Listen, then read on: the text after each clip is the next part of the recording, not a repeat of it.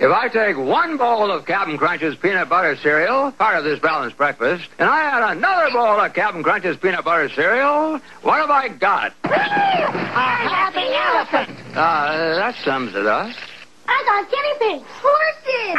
Elephants. Cap'n Crunch cereal brings you three fun new animal stamp albums. He hops 40 miles per hour. There's one Smedley Zoo Pals or CB's Farm Animals or Captain's House Pets in each specially marked box of Cap'n Crunch.